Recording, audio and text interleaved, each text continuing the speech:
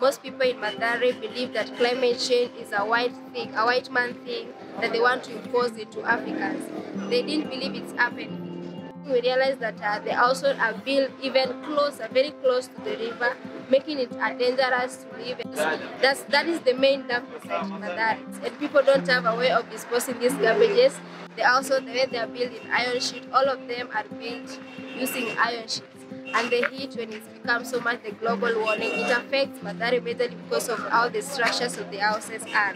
We strive to sensitizing the people in the importance of having a clean environment through planting trees and also educating people on climate change issues because in Mathare they still don't believe it.